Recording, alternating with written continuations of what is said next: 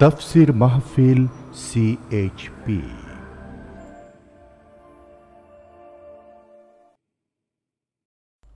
বিসমিল্লাহ রহমান রহিম। জাতীয় মসজিদ বায়তুল মোকরমে দু সালে অনুষ্ঠিত হয় বিশাল ওয়াজ মাহফিল। মাহফিলে মূল্যবান বক্তব্য রাখেন বিশ্বনন্দিত মুফাসির কোরআন আল্লামা দেলাভার হুসাইন সাইদি শব্দধারণ মাহসিন সাউন্ড সিস্টেমস। প্রযোজনায় সিএইচপি শুধু তফসির মাহফিল সিএইচপি চ্যানেলে আল্লামা সাইদির ওয়াজ মাহফিলের উল্লেখযোগ্য অংশ এখন আপনারা দেখতে পাবেন। একজন ইসলামিক ফাউন্ডেশনকে আমি ধন্যবাদ জানাই। তারা মাসব্যাপী বই মেলা করেছে। বই কিনবেন বই কিন্তু মানুষকে ঠকায় না। এই যে গল্পের বই নাটক, মানুষেরা কেনে, নবেল নাটক, জনমের কেনা কেনে। সেদিন পত্রিকায় দেখলাম ওই যে একুশে বইমেলা ছিল না? পত্রিকায় দেখলাম একটা বই নাকি খুব বেস্ট সেলার জনমের মতো বিক্রি হয়েছে। কি? বইয়ের নাম দেখলাম উষ্টামারি প্রেমের কপালে। আমি বুঝি নাই উষ্টা কি জানি না। উষ্টা মারি প্রেমের কপালে। বইয়ের লেখক জনক শেখা খাওয়া প্রেমিক। আস্তাগফিরুল্লাহ। এটা কি? আল্লাহ জানে আচ্ছা এই নোবেল নাটক পড়িয়া যে নোবেল নাটক উপন্যাস পড়িয়া, এর মধ্যে পাবেন কি? আপনাদের খারাপ লাগতেছে? এর মধ্যে পাবেন কি? পাবেন? এই জমিদারের মেয়ের সাথে ড্রাইভারের ছেলের প্রেম হলো। তারপরে দুজনে মোবাইলে এস এম এস করল। এরপর সংসদ ভবনের সাথে দেখা হইল। তারপরে বেলি রোডের ফুটপথে বসল। তারপরে কি হইল? তারপরে কি হইল? তারপরে গল্প শেষ হইল। আচ্ছা এছাড়া আর কিছু আছে বলে? আর কিছু আছে? এইগুলো পড়ে লাভটা কি? সময় নষ্ট করে লাভ কি?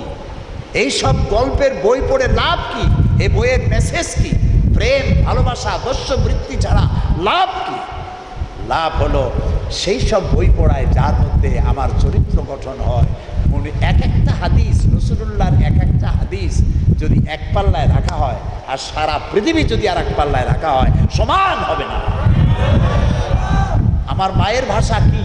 আমার ভাষা কি? তাও জানি না আমরা। বলেন না কি? আল্লাহ রহমত আমার মায়ের ভাষা, বাংলা ভাষা। আলহামদুলিল্লাহ।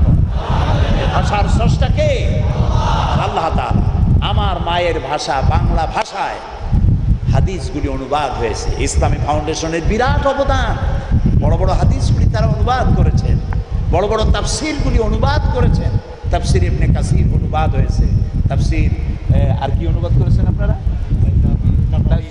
তাবারি অনুবাদ হয়েছে, বাইজাবি অনুবাদ হয়েছে, হাদিসের বইগুলি অনুবাদ হয়েছে, সামাইলে তিরমিজি হয়েছে বুহারি হয়েছে, আবু দাউদ হয়েছে, মুসলিম হয়েছে, মিশকাত শরীফ হয়েছে। সকলের দাবি, হাদিসগুলি তাফসির ইবনে কাসির সহ এই তাফসিরগুলি আবার ছাপতে হবে। তারপরে জাকাতের মশলা নিয়ে আপনাদের অনেক ঝামেলা। জাকাত খুব কঠিন মশলা কঠিন মশলা না? যে কোনো মৌলবী সাহেব দিতে পারবে না। এই জন্য আল্লামা ইউসুফ আল কারদাবি বর্তমান বিশ্বের অন্যতম শ্রেষ্ঠ ইসলামী চিন্তানায়ক। আলহামদুলিল্লাহ বলুন। আল্লাহ তাকে হায়াতে তাইবা সেহাতে কুল্লিয়া দান করুন। বলেন আমি বড় উদারপন্থী আলেম। বর্তমান যুগে এইরকম আলেম আমার সামনে পড়ে নেই। আমি ছোট্ট মানুষ, আমি আলেমদের মধ্যে পড়ি না। আমি ওনাকে অনেক শ্রদ্ধা করি। ওনার সঙ্গে একসঙ্গে অনেক প্রোগ্রাম করেছি। অনেক বড় আলেম। তার লেখা ফেকুজ জাকাত যেটার অনুবাদ করেছেন এদেশের ইসলামী আন্দোলনের পুরোধা হজরত মৌলানা আব্দুর রাহিম রহমতুল্লাহ আলাই ইসলামের জাকাত বিধান, ইসলামী ফাউন্ডেশন বের করেছে দুই খণ্ড। আপনি যদি আপনার বাড়িতে ইসলামের জাকাত বিধান কিনে রাখেন জাকাতের কোনো ব্যাপারে কোনো মৌলানা সাহেবের কাছে জিজ্ঞেস করার কোনো প্রয়োজন নাই। মনে থাকবে? ইসলামে হালাল কি আর হারাম কি? অনেকের জানা নেই। আল্লামা ইউসুফ আল কারজাবির লেখা, ইসলামে হালাল হারামের বিধান। ইসলাম ফাউন্ডেশন ছেড়েছে। কি কি হালাল আর কি কি হারাম? একটা বইয়ের মধ্যে সব পেয়ে যাবে। আলহামদুলিল্লাহ বলে। পেগামে মোহাম্মদি। নবী করিম সাল্লামের জীবনী শুনতে আসছেন? হজরত মা হজরত মাওলানা সৈয়দ সালামান নদী মাদ্রাজ ইউনিভার্সিটিতে আট দিন বক্তৃতা করেছিলেন। কয়দিন আট দিন। হিন্দু ছিল, খ্রিস্টান ছিল, মুসলমান ছিল, আট দিন বক্তৃতা করেছেন। পৃথিবীতে রসুল্লাহর জীবনীর উপরে বক্তৃতা করেছে আর সেই বক্তৃতা বই হয়েছে সেটা একমাত্র এই বইটি পেগামে মোহাম্মদি। বইটা পড়বেন সত্রে সত্রে কান্দা লাগবে। এই বইটা কিনলে এই বইটাও ইসলামী ফাউন্ডেশন বের করেছে। ইসলামী ফাউন্ডেশনের বিরাট অবদান, ধর্ম মন্ত্রণালয়ের সব থেকে সম্মানজনক প্রতিষ্ঠানের নাম ইসলামিক ফাউন্ডেশন। আলহামদুলিল্লাহ বলে, অসংখ্য বই তারা ছেপেছে। আপনার টাকা দিয়ে করবেন কি? আমি অনেক বড় লোকের বাড়িতে মাঝে মাঝে দাওয়াত দেয়। হুজুর মনে করে দোয়া করার জন্য দাওয়াত দেয়। যাই দেখছি তার ড্রয়িং রুমের মধ্যে শোপিস, লক্ষ লক্ষ টাকা, পাথরের মূর্তি আছে, শোপিস আছে, কত কিছু গুন্দু ইন্দুর, বান্দর, তেলাপোকা পাথর টাথর ইত্যাদি সাজানো কিন্তু দুই হাজার টাকার ইসলামী বই দেখিনি, কোরআন শরীফের একটা তাফসিল দেখিনি। তা আপনি যদি আপনার বাড়িতে কোরআন হাদিস না শেখে, না থাকে, তা আপনার ছেলে মেয়ে শিখবে কি? বলেন কি শিখবে? খালি ডিশ লাইন আছে লাগানো? ইন্ডিয়ান আইডল না কি কতগুলো আছে, ওগুলার উল্লুক ভাল্লুকের নাচ দেখা ছাড়া। আর শিখবে কি? সারাদিন গান আর নাচ। আপনার পরিবার তো মানুষ হবে না, আপনাকে দায়ী হয়ে যেতে হবে। কুল্লুকুম রায়েন ওয়া কুল্লুকুম মাসউলুন আন রায়াতিহি। রাসূলুল্লাহ বলেছেন, প্রত্যেকেই তার অধীনস্থ ব্যক্তি সম্পর্কে আল্লাহর কাছে তাকে জবাবদিহি করতে হবে। আপনাকেও, আপনার স্ত্রী, আপনার সন্তান, আপনার মেয়ে, আপনার ছেলে, আপনার নাতি, যারা আপনার অধীনস্থ, তাদের সম্পর্কে কেয়ামতে জবাবদিহি করতে হবে।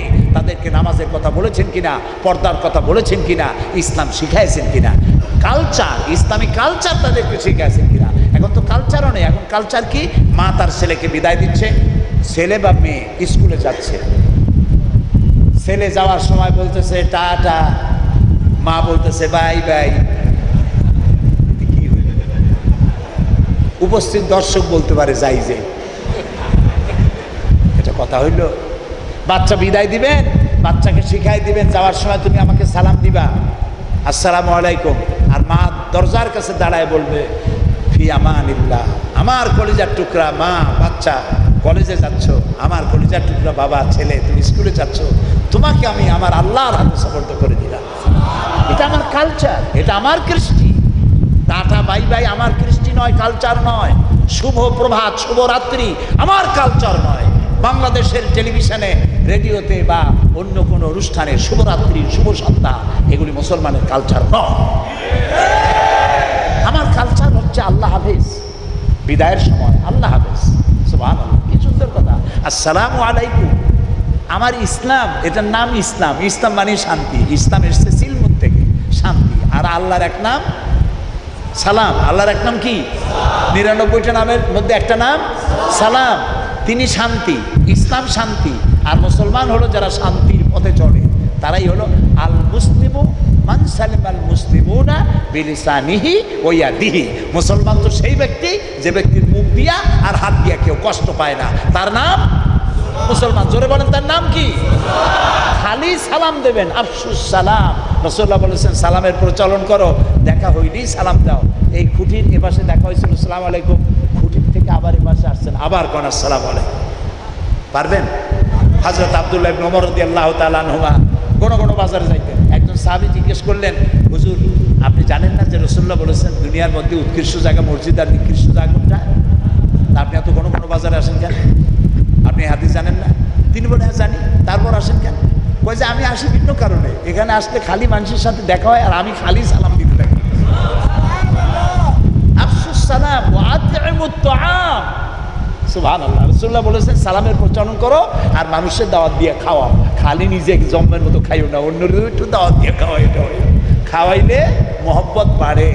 ওয়াসাল্লু ওয়ান্নাসু নেয়াম। আর ওই সময় নামাজ পড়ে যখন মানুষেরা ঘুমায় থাকে। তাদখুলুল জান্নাতা বিসালাম এই তিনটা কাজ করবা, আল্লাহ তাআলা জান্নাতে প্রবেশ করবা।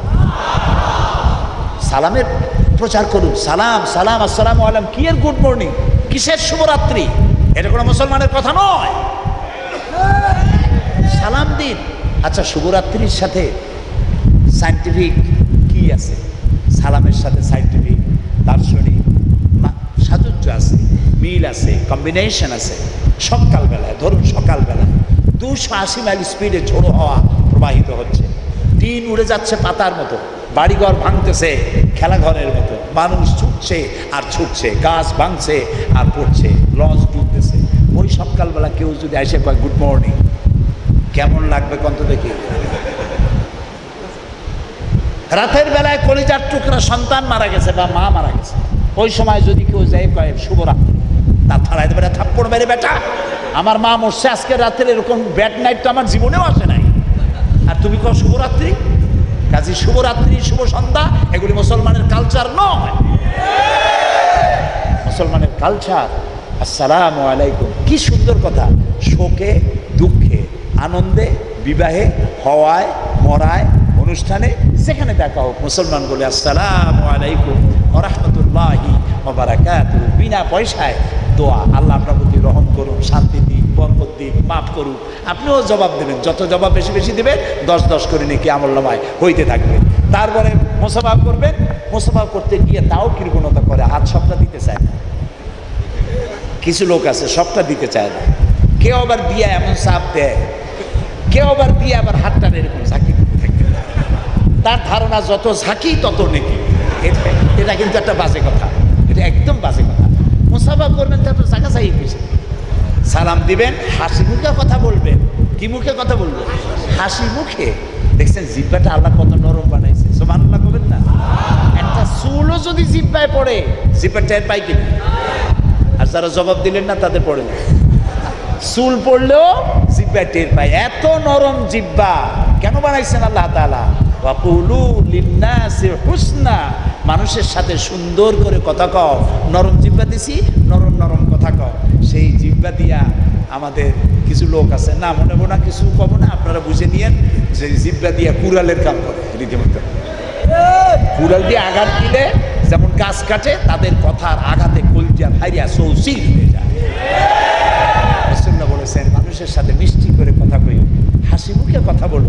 রসুল্লাহ বলেছেন, হাসি মুখে কথা বললে সৎকা দেওয়ার মতো সমান সব হয়। তা সৎকা কি মুরগি দিয়ে দেওয়া যায়? কমসে কম এক বছর একটা ছাগল। দাম হবে কত? এক হাজার টাকা। মিনিমাম মিনিমাম এক হাজার টাকা। এক হাজার টাকা খরচ করে একটি ছাগল জবাব দিয়া সৎকা করলে যে সওয়াব, একজন মানুষের সাথে হাসি মুখে কথা বলায়, সেই সওয়াব। হিন্দুর সাথে দেখা হবে, একটা হিন্দু মারা গেল। কোথায় শিখছেন? বলতে হবে, ফি নারে জাহান্নামা খালিদিনা ফি আবাদা। কে শিখেছে আপনার হিন্দু মরল, শুনেই বলল, ফি নারে জাহান্নামা খালিদিনা ফিয়া জাহান্নামে যাক চিরকাল থাকুক কে শিখেছে আপনার কেন এটা? কাজী, হিন্দু হোক, খ্রিস্টান হোক, মুসলমান হোক, মিলেমিশে থাকতে হবে, ভালোবাসা নিয়ে থাকতে হবে। ভালোবাসা দিয়েই ইসলাম পৃথিবীতে ছড়িয়েছে, রাগারাগি আর মারামারি দিয়ে নয়। শুধু মহব্বত দিয়ে, আর দিন ওয়ান নাসিহা। দিন হলো ভালোবাসা। এই যে চোদ্দোই ফেব্রুয়ারি, কি একটা ডে ভ্যালেন্টাইন হ্যাঁ? ভর্তা। ভ্যালেন কি ভ্যালেন্টাইন ডে। এই যে ভ্যালেন্টাইন ডে, বিশ্ব ভালোবাসা দিবস। এটার নাম আপনি বলতে পারেন বিশ্ব বেহায়া দিবস। এই ভালোবাসার তো আমার দরকার নাই। এই ভালোবাসা দরকার ওই সব দেশের যাদের জীবনে কোনো ভালোবাসা নাই। আমাদের এখানে তো যৌথ পরিবার, ওদের হলো ব্রোকেন ফ্যামিলি আমাদের তো যৌথ পরিবার, আমার দাদা, নানা, বাপ, মা, ভাই, বোন, চাচা, এক ফ্যামিলিতে, এক হাড়িতে রান্না করি, এক বাড়িতে থাকি। আলহামদুলিল্লাহ। আমার ভালোবাসায় কোনো অভাব আছে? আর দিন ওয়ান নাসিয়া দিন মানি ভালোবাসা। মায়ের কতটুক ভালোবাসবো, বাপের কতটুক ভালোবাসবো? প্রতিবেশী থেকে কতটুকু ভালোবাসবো। হাদিস শরীফে, কোরআন শরীফে বলে দেওয়া হয় নাই, বলা হয় নাই। তো আমি একদিন কেন যে ভালোবাসা দিবস পালন করব? আমার তো সারাটা জীবন ভালোবাসা। সুতরাং চোদ্দই ফেব্রুয়ারি ভালোবাসা দিবস পালন করতে গিয়া খালি এস এম এস দিয়ে পরের মেয়ে নষ্ট করা আর বাগানে বাগানে বাগবাকুম বাগবাকুম করা, এর কোনো মানে নেই। এগুলো আমাদের কালচার নয়, এগুলো মুসলমানের কালচার আমরা ভালোবাসা দিয়ে জয় করতে চাই পৃথিবী। পৃথিবী জয় হয়েছে মুসলমানদের ভালোবাসায়। আর একদিন শোনাবো, যদি আল্লাহ সুযোগ দেন আর একদিন শোনাবো। ইসলাম ভালোবাসা দিয়ে এসেছে তরবারি দিয়ে আসে নাই, তীর দিয়ে আসে নাই, মার দাঙ্গা করে আসে নাই। কি ভালোবাসা? রসুল সাল্লাহ কি ব্যবহার কি ব্যবহার? এক যুবক, এরকম এক যুবক, তুমি না, এরকম এক যুবক। রসুল তখনও পর্দার আয়াত নাজিল হয় নাই। মেয়ে লোক পুরুষ লোক রসুলের সামনে বসা। এক যুবক স্বাভাবিকভাবেই একটা যুবতী মেয়ের দিকে তাকায় আছে। রসুল্লার চোখ পড়ল। রসুল্লাহ যুবকের চেয়ার মাথাটা ধরিয়া আর একদিকে ঘুরাই দিলেন। মুখ দিয়ে কিচ্ছু করলেন না। সুবহানাল্লাহ বলতে ইচ্ছে করে না? এক- একজন যুবকের আমি মুসলমান হতে চাই। সব গুণা ছাড়তে পারব। শুধু একটি গুণা আমাকে করার পারমিশন দিতে হবে। তাহলে আমি মুসলমান হব। সেটা কি? বলল যে গুণা এমন কিছু নাই যে আমি করি না, সবই করি, সবটা ছাড়বো। তবে আমি মুসলমান হব, আমাকে শুধু জেনা করার পারমিশনটা দিবেন। একটা কথা এখন আপনারা চিন্তা করেন, এই রকমের কথা যদি আমাদের কোনো হুজুরের সামনে বলে, তাহলে হুজুরের কিছু কওয়া লাগবে না, মুরিদরা জন্মের সেনা দেবে জায়গা। ঠিক না? রসুল্লাহ কি করলেন? সাহাবিদের মেজাজ তো গরম হয়ে গেছে, রসুলের সামনে কি কথা বলল সে? রসুল্লাহ যুবককে বললেন, কাছে আচ্ছা তুমি যে কাজটা করলে, করতে চাও পারমিশন চাও, এই কাজটা যদি তোমার বোনের সাথে কেউ করে, তুমি কি রাজি হবে? ছেলেটি বলছে, না, আমি রাজি হব না। যদি তোমার মায়ের সাথে কেউ করে, অসম্ভব, আমি রাজি হব না। তোমার খালার সাথে, না, আমি রাজি হব না। তোমার বউর সাথে, অসম্ভব, রাজি হব না। রসুল্লাহ বললেন, তুমি যদি এরকম আটকে ওঠে, শিউরি ওঠো, এরকম যদি ভীত সন্ত্রস্ত হও রাগান্বিত হও, তুমি যে কাজটা করতে চাও, সেটাও কোনো একটা মেয়ে, আর ওই মেয়েটাও কোনো একজনের মা হবে, বোন হবে, মেয়ে হবে, স্ত্রী হবে, তাহলে তার কেমন লাগবে?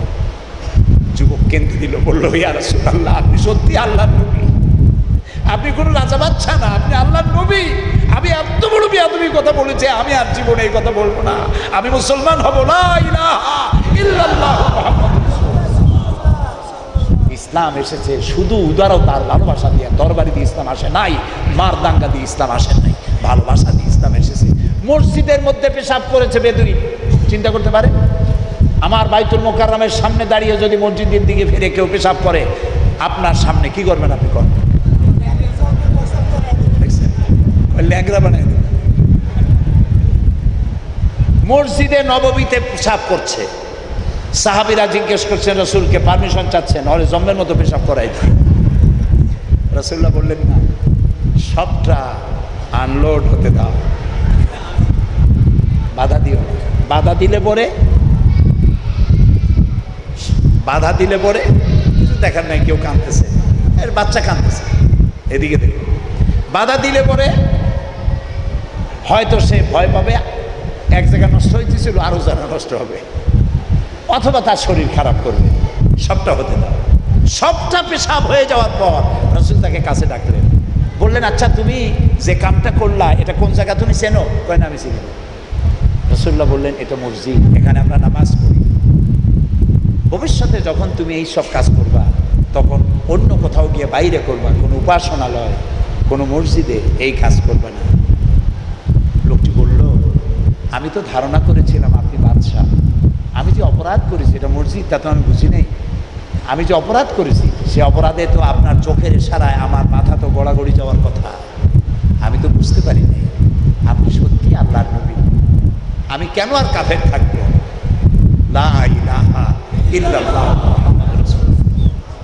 এই হলো ইসলাম। সুতরাং এই ইসলামকে জানতে হবে, মূল ইসলামকে জানতে হবে। এখানে রাগারাগি, মারামারি লাঠি নিয়ে দৌড়োদৌড়ি ইত্যাদি নাই। এখানে আছে শুধু ভালোবাসা। সেই ভালোবাসা জানার জন্য বই পড়ুন। যাওয়ার সময় প্রত্যেকে বই কিনবেন। বই আপনাকে ঠকাবে না। নোবেল ঠকাবে, নাটক ঠকাবে, উপন্যাস ঠকাবে, কিন্তু ইসলামের বই আপনাকে ঠকাবে না। একটা বই সাথে নেওয়া মানে ইসলামের একটা কর্মী আপনার সাথে থাকল, আপনার জীবনকে পরিবর্তন করে দেবে। কোরআন আর হাদিস দিয়ে ভরা লাইব্রেরিগুলি এক মাস খোলা থাকবে। আপনারা বই কিনবেন, বই উপহার দেবেন। এর থেকে শ্রেষ্ঠ উপহার আর নাই। বই পড়বেন, বই উপহার দেবেন। ইসলামের প্রথম ফরজ নামাজ নয়, রোজা নয়, হজ নয় জাকাত নয়। প্রথম ফরজ পড়ো পড়ো আর পড়ো রিড অ্যান্ড রিড পড়ো না পড়লে নিজেরও চিনবে না, আল্লাহরও চিনবে না, রসুলকেও চিনবে না। কথা শেষ। আমাদেরকে যেন আল্লাহ পড়ার তৌফিক দেন, বোঝার তৌফিক দেন, আর আমরা যেন সত্যিকারে মুসলমান হতে পারি। পৃথিবী যেন আমাকে দেখে অনুসরণ করে, আমি যেন কারও অনুসরণ না করি। স্ত্রীকে বিশ্বাস করানো, স্ত্রীর কাছে বিশ্বাসী হওয়া কঠিন ব্যাপার। যাই দেখেন, একদিন রাত্রে পরীক্ষা করেন। স্ত্রীকে বলেন যে, একটু আগে স্বপ্নে দেখলাম, আমি চার তরিকায় কামেল পীর হয়ে গেছি। তা তুমি আমার কাছে মরিদ হও প্রথম। ও বলবে, তুমি পীর না শয়তানের খেলা তো ভাই আমি খুব ভালো করে জানি। সব থেকে স্ত্রী জানে তার স্বামীটা কেমন। এই কথায় কোনো ভেজাল আছে? সব থেকে ভালো জানে তার খাদেম, যে খাদেমটার সাথে সাথে থাকে। সব থেকে ভালো জানে তার বন্ধু, ড্রাইভার, যারা কাছে কাছে থাকে। এরা জানে লোকটা বলে কি আর করে কি? ভয়তে সামনে বলতে সাহস পায় না, কিন্তু যখন বক্তৃতা করতে গিয়ে লম্বা লম্বা কথা কয়, পিছনে বসে গাড়ি দেয়, কত বড় শয়তান, কয় কি? ঠিক না? ঠিক না? এবার দেখেন রসুল্লাহকে সার্টিফিকেট কে দিচ্ছেন? এক তো আল্লাহ দিলেন। আল্লাহর নবী যখন হজরত খাদিজার কাছে এসে দাওয়াত দিলেন, ও খাদিজা এক আল্লাহ ছাড়া কোনো ইলাহা নাই। ওই আল্লাহ রব্বুল আলামিন আমাকে আখিরি জামানার পয়গম্বর হিসাবে, আমাকে নবী হিসাবে ঘোষণা করেছেন। তুমি আল্লাহর উপর ইমান আনো আর আমাকে নবী হিসাবে মেনে নাও। স্ত্রী তো স্বামীর জন্য ভালোবাসা দিতে পারে, জীবন দিতে পারে, টাকা দিতে পারে, পয়সা দিতে পারে, যা লাগে সব দিতে পারে। কিন্তু ইমান আনা তো সহজ ব্যাপার না। বাপ দাদার ধর্ম পরিত্যাগ করা কি সহজ? সহজ। এবার দেখেন কত সহজ। নবী যখন আল্লাহ, নবী যখন দাওয়াত দিলেন ইমান আমাদের মা হজরতে খাদিজাতুল কুবরা রাদিয়াল্লাহু তাআলা আনহা এক মুহূর্ত দেরি করেন নাই, এক সেকেন্ডও দেরি করেন নাই, এক পলক দেরি করেন নাই। সঙ্গে সঙ্গে আমাদের মা খাদিজা পড়েছেন, লা ইলাহা ইল্লাল্লাহু হজরতে খাদিজা বলেন ইয়ার ইয়া আবাল কাসেম, হে কাসেমের পিতা। তিনি রসুল্লাহকে আবুল কাসেম ডাকতেন। হে কাসেমের পিতা, যে দাওয়াত আপনি আমাকে দিলেন, পনেরোটি বছর পর্যন্ত আপনার সঙ্গে ঘর গৃহ বাস করে আমার যে ধারণা হয়েছে, আপনাকে যেভাবে আমি পেয়েছি, দিনে যেমন পেলে পেয়েছি, রাতে যেমন পেয়েছি, আপনার সম্পর্কে আমার ধারণা হলো, আপনি কোনো সাধারণ মানুষ নন। আপনি যে আল্লাহর নবী, আমার তাতে কোনো সন্দেহ নাই। নবী করিম সাল্লাহ আলী সাল্লাম আদর্শ ছিলেন। যুবকের নানার পিতার, স্বামীর, সৈনিকের রাষ্ট্রপতি সুভান বাচ্চা কোলে নিয়ে আদর করতেছেন। ইমাম হোসাইন ছোট্ট বাচ্চা। নাতি কোলে নিচ্ছেন। সেজদায় পড়ে আছেন, ঘাড়ের উপরে উঠছে। সেজদা থেকে মাথা উঠাচ্ছেন না, পড়ে গিয়ে ব্যথা পাবে। সুমা খাইতেছেন, বুকে লাগাইতেছেন। হোসাইনকে জিজ্ঞেস করছেন রসুল্লাহ সাল্লাম হোসাইন, তুমি বড় না বড়? হোসাইন বলছে, নানাজি, আপনার থেকে আমি বড়। দেখছেন কি কাণ্ড? রসুল্লাহ জিজ্ঞেস করলেন, কেমনে? তুমি আমার থেকে বড়? হাজরাতে হোসাইন বলছেন, নানাজি, আপনার আব্বার নাম কি? তিনি বললেন, আমার আব্বার নাম আবদুল্লাহ। হোসাইন বলছেন, এটা নিশ্চয়ই আপনার আব্বা আব্দুল্লাহ, সন্দেহ নেই। কিন্তু আমার বাপের চেনেন আমার বাপ হচ্ছেন আসাদুল্লাহ গালিব আলী জুবনে আবি তালিব। আমার বাপ হলো আল্লাহর পাঠানো বাঘ, পৃথিবীর সব কাফেরদের জন্য আমার বাপ, বাঘ ছিলেন এরকম বাপ আছে আপনার? আচ্ছা নানাজি, আপনার মায়ের নাম কি? তিনি বললেন, আমার মায়ের নাম আবে না হোসান বলছেন, এটাও ঠিক। কিন্তু আমার মায়ের আপনি চেনেন? আমার মা হচ্ছেন খাতুনে জান্নাত সৈয়দাতুন জান্নাতের সমস্ত রমণীদের সর্দারিনী হবেন আমার মা, ফাতেমা। এরকম একটা মা আছে আপনার? করছেন, ছোট্ট মানুষ কয় কি? হোসাইন বলছে, নানাজি, আর বলব নাকি? থাকলে বলো। আপনার নানার নাম কি? বলছেন, আমার নানার নাম আব্দুল এইবার খুঁজে দেখেন তো আব্দুল হকে চেনে কেটা আমার নানারে চেনে। আমার নানা সরওয়ারে কায়নাত, সরদার দো জাহাं সৈয়দুল মুরসালিন, আশরাফুল আম্বিয়া, রহমতুল্লিল আলামিন। জনাব মোহাম্মদ রসুল্লাহ এরকম নানা আছে আপনার? রসল্লাহ ইমাম হোসাইনকে বুকের সাথে জড়াই ধরিয়া, ঠোঁটের উপরে, গালের উপরে, গলায়, কপালে বারবার চুমা খাইতে লাগলেন আর বললেন না না আমি তো তোমার কাছে আজকে সত্যি হেরে গেলাম। বাচ্চা নিয়ে আদর করতে। রসুল্লাহ পৃথিবীর মানুষকে দিয়ে গেছেন? শিখায় গেছেন মানুষের প্রতি দরদ, ভালোবাসা। তিনি হচ্ছেন রহমত। রসুল্লাহ কি? আল্লাহ রাব্বুল আলামিন বলেন, ওয়ামা আরসালনাকা ইল্লা রাহমাতাল লিল আমার সমস্ত সৃষ্টি জগতের জন্য আপনি হচ্ছেন আমার রহমত, আমার করুণা। এটা কত বড় কথা? একটু ভাবুন তো, একটু মাথা খাটা আমার গোটা সৃষ্টি জগতের জন্য আপনি আমার করুণা, আমার রহমত। সুমান আল্লাহ শুধু মানুষের জন্য নয় রহমতাল্লিল মুসলিমিন নয় শুধু রহমতাল্লিল ইনসান নয় শুধু রহমতাল্লিল রসুল্লাহ হেঁটে যাচ্ছেন, সামনে একটা উট পড়ল। উটটার গায়ে গোস্ত নাই, হাড্ডি টাড্ডি বাইরে হবে রসুলের দিকে তাকানো উটটি, উটের চোখ দিয়ে পানি পড়তেছে। উঠে চিনে ফেলাইছে রসুল্লাহ রসুল্লাহ বললেন, এই উটের মালিক কোথায় ডাকো উটের মালিককে ডাকা হলো। রসুল্লাহ বললেন, তোমার এই উট তোমার? লোকটি বলল হ্যাঁ আমার। রসুল্লাহ বললেন, তোমার উট তার চোখের পানির ভাষায় আমাকে জানিয়ে দিল। তুমি তাকে দিয়ে পরিশ্রম করাও বেশি, আর তাকে তুমি বিশ্রাম দাও না, খাইতে দাও না। আল্লাহর কাছে তোমাকে আসামি হতে হবে। উটের খবর রাখতেন, প্রাণী জগতের খবর রাখতেন। সেই উন্মত আমরা। আজকে সেই রসুলের আদর্শ যদি আমরা আমাদের জীবনে ধরে রাখতে পারতাম। আমাদের কষ্ট হতো না এই পৃথিবীতে। আমরাই হতাম সেরা জাতি। আজ আমরা আমাদের কারণে, আমাদের আচরণের কারণে আমরা পৃথিবীতে সবচাইতে নিকৃষ্ট জাতিতে পরিণত হয়েছি। এই যে পত্রিকা দেখেন, আমরা কি খাচ্ছি? কি খাচ্ছি? রসুল্লাহ বলেন, খাদ্যদ্রব্যের যে ভেজাল মিশায়, সে আমার দলভুক্ত নয়। মানে কি? আমার উন্মত নয়। খাদ্যদ্রব্যে যে ভেজাল মিশাইলো, সে কার উন্মত না? রসুল্লার উন্মত না এখন আপনি খাদ্যদ্রব্য ভেজাল মিশান আর হজ করেন আর তাহাজুদ করে কপালের চামড়া উঠায় ফেলেন। রসুল্লাহ সার্টিফিকেট দিচ্ছেন আপনি তার উন্মত আর যদি উন্মত না হইতে পারেন, তিনি কি সুপারিশ করবেন? তো আমরা একদিকে মুসলমান দাবি করতেছি, আর আমরা খাচ্ছি কি? পত্রিকা দেখলাম, টেলিভিশনে দেখানো হলো সানাসুরগুলা মশা ময়দা আর পচা বিস্কিট। এগুলো ট্রেনের পোড়া মোবাইল, মোবিল, এগুলো দিয়ে ভাজিয়া সুন্দর সুন্দর প্যাকেট করে খাওয়ানো হচ্ছে। স্যান্ডউইচের ভেতরে, স্যান্ডউইচ, স্যান্ডউইচের মধ্যে মরা মুরগি ঢুকাইয়া চিকেন স্যান্ডউইচ খাওয়ানো হচ্ছে। চার পাঁচ দিনের পুরানা ভাতের ফ্যান বড় বড় হোটেলে রাইস প- পঁচাত্তর টাকা এক কাপ।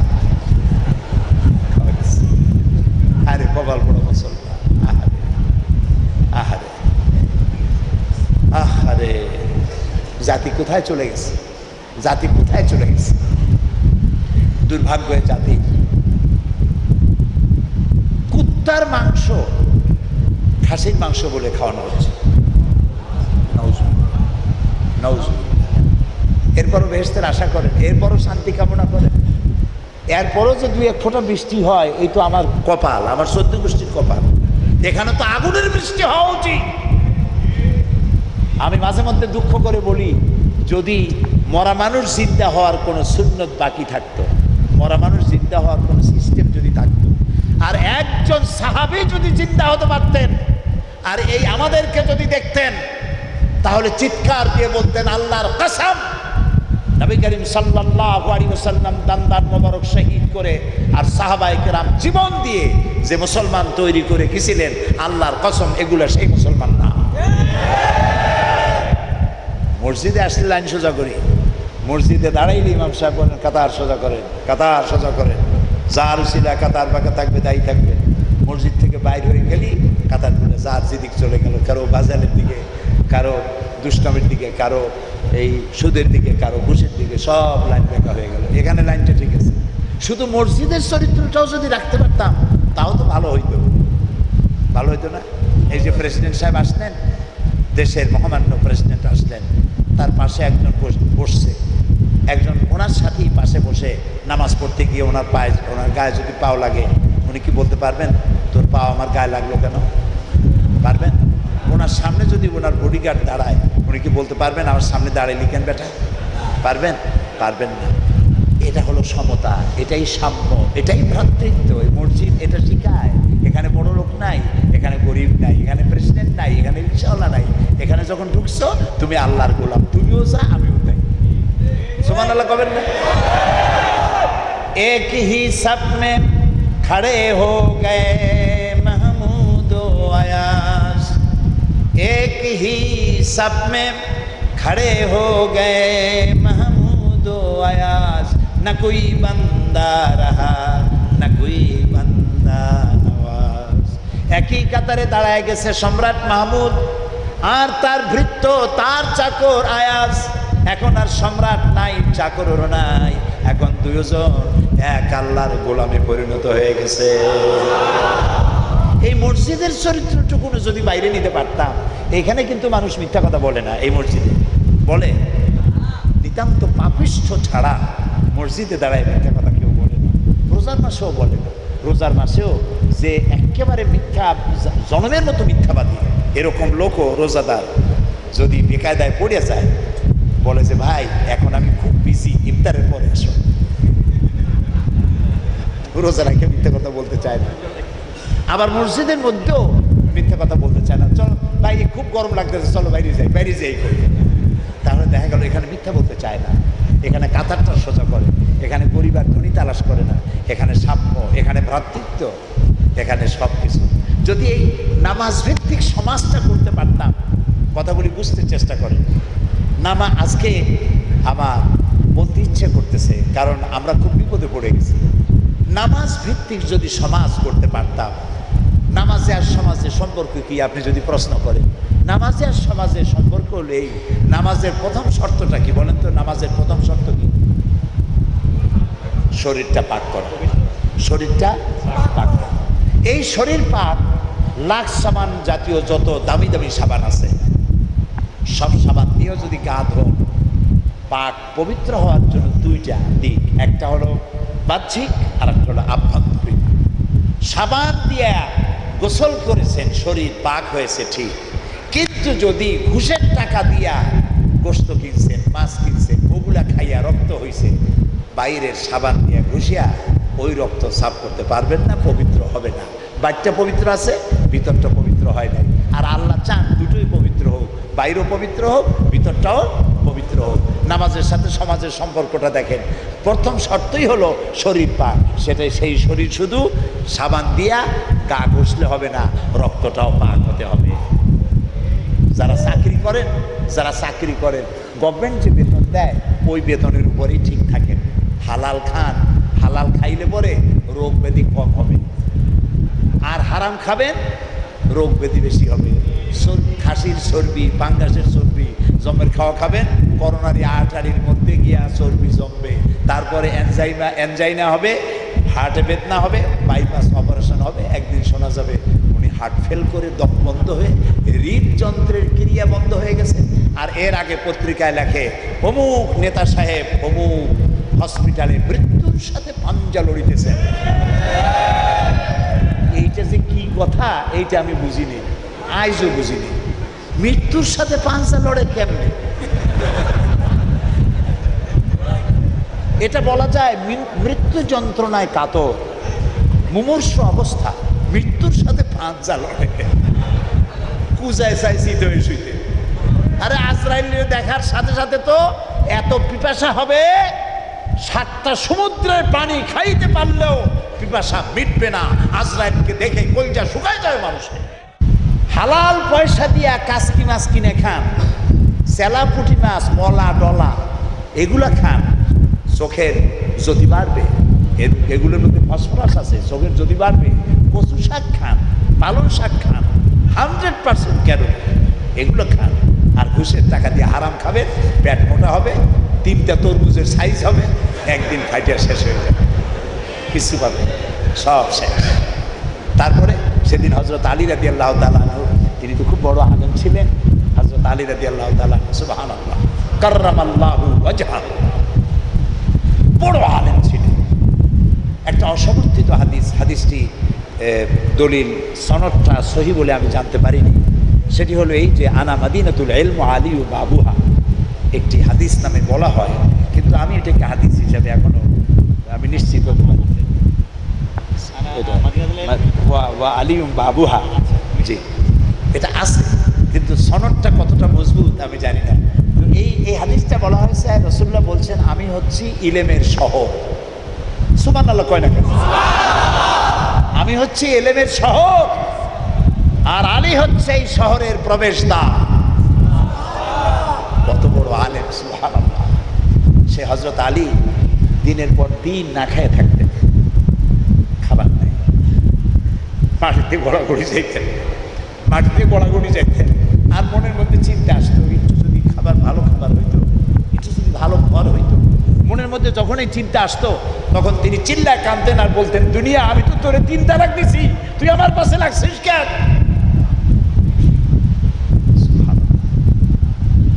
সেই হজরত আলী একটা শের সে পড়লাম, তিনি লিখছেন, তিনি এক কবরের কাছ থেকে যাচ্ছিলেন। কবরের কাছে দাঁড়াইয়া তিনি সালাম দিলেন। বললেন, কবরওয়ালা, তুমি কেমন আছো? এটা তো তুমি বলতে পারবে না।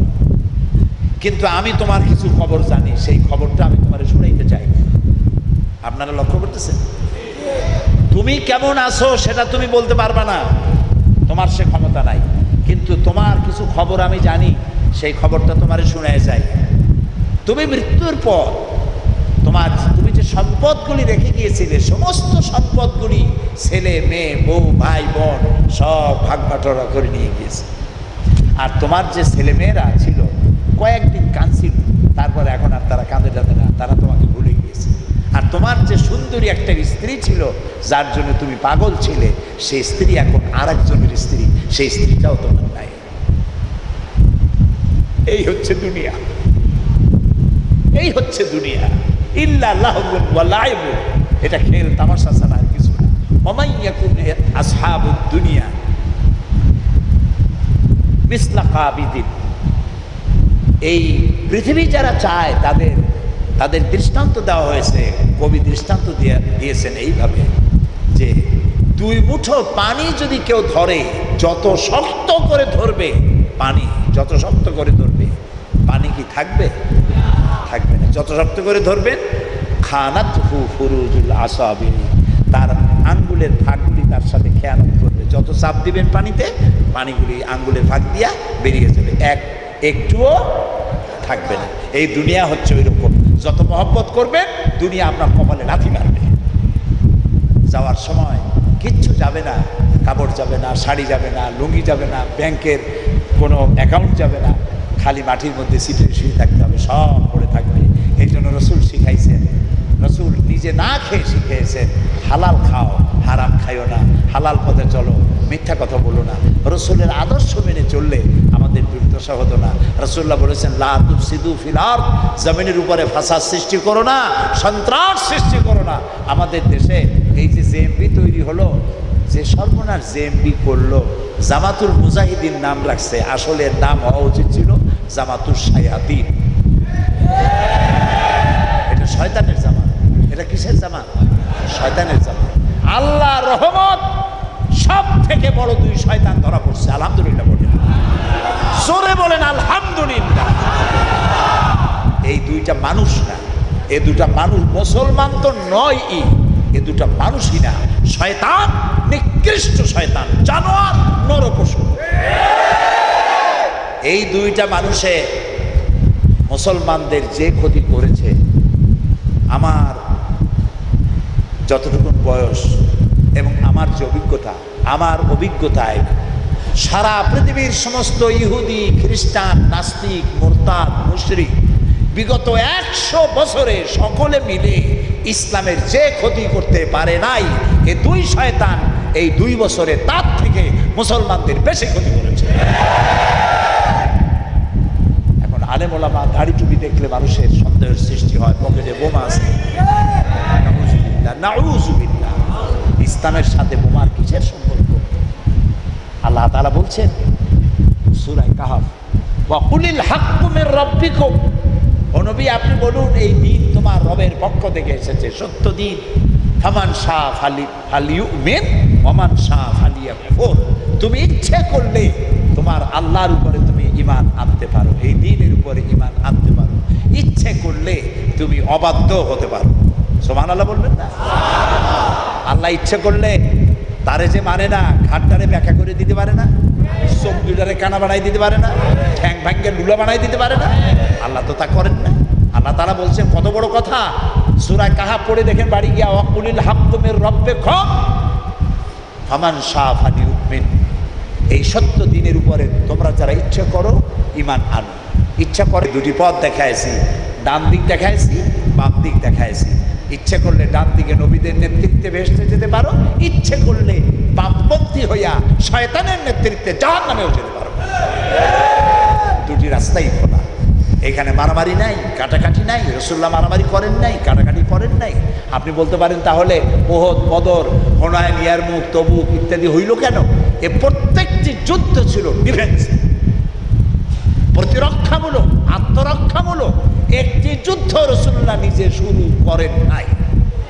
করেছেন করেছেন কত বড় কম্প্রোমাইজ করেছেন তিনি? কত বড় কম্প্রোমাইজ হোদাই বিয়ার সন্ধি, যেখানে রসুল্লাহ নামের সামনে লেখা মোহাম্মদ রসুল্লাহ বলেন সাল্লাহ কাভেররা বলল মোহাম্মদ এই নামের সামনে যদি রসুল্লাহ থাকে, তাহলে ওই চুক্তি আমরা মানবো কেন? তাহলে চুক্তি করার তো দরকারই নেই। আমরা মোহাম্মদ বিন আবদুল্লাহ লিখতে হবে রসুল্লাহ মানি না। নজুবিল্লাহ কতটা কম্প্রোমাইজ করলেন রসুল্লাহ বললেন, আলী, আমার নামের সামনে থেকে রসুল্লাহ কেটে দাও, মোহাম্মদ বিন আবদুল্লাহ লিখে দাও। হাজরত আলী বলেন, ইয়া রসুল আল্লাহ সারাটি জীবন আপনার হুকুম পালন করেছি। বাকি সারা জীবন আপনার হুকুম পালন করব।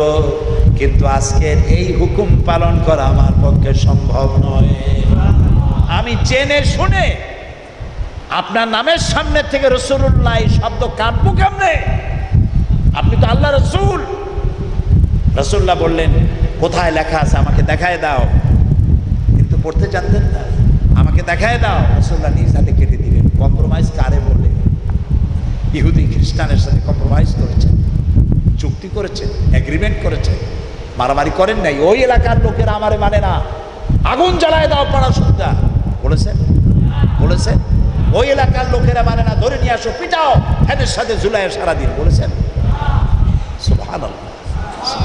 মানুষকে বুঝাও। আল্লাহ নিজে বুঝাইছেন, সারা কোরআন শরীফ ভরা। আপালা তা তোমাদের আটকল নাই। সুবান আল্লাহ বাপে যেমন ছেলেরে বুঝায়। ছেলেরে বুঝায় না বাপে? আরে বেটা, এত বুঝাই বুঝাও না আকল টাকল নাই। আল্লাহ আল্লাহ বলছেন আপালা তা কিনুন আকল নাই, বুঝো না। আপালা তুম সিরুন চোখে দেখতে পাও না। আপালা তাসমাও শুনতে পাও না আমার কথা। যুক্তি দিয়ে দিয়ে ইসলামকে বুঝাও। এখানে ইয়েসেরু বলা তোয়াসেরু মানুষকে সহজ করো, চরম পন্থা অবলম্বন করো না। হার্ড লাইনে যেও না। মারধরি করা, বোমা মারা, পিটানো হত্যা করা। ইসলামে জায়েজ নাই। কোরআন বলছে, একটি মানুষকে হত্যা করার অর্থ হলো, গোটা পৃথিবীর সমস্ত মানুষকে হত্যা করা সমান পাপ। একটা মানুষকে যদি কেউ বেঁচে থাকার সুযোগ করে দেয় সেজন্য সারা পৃথিবী সব মানুষকে বাঁচার সুযোগ করে দিল। সুবাহান আর একটা হাদিস শুনাই।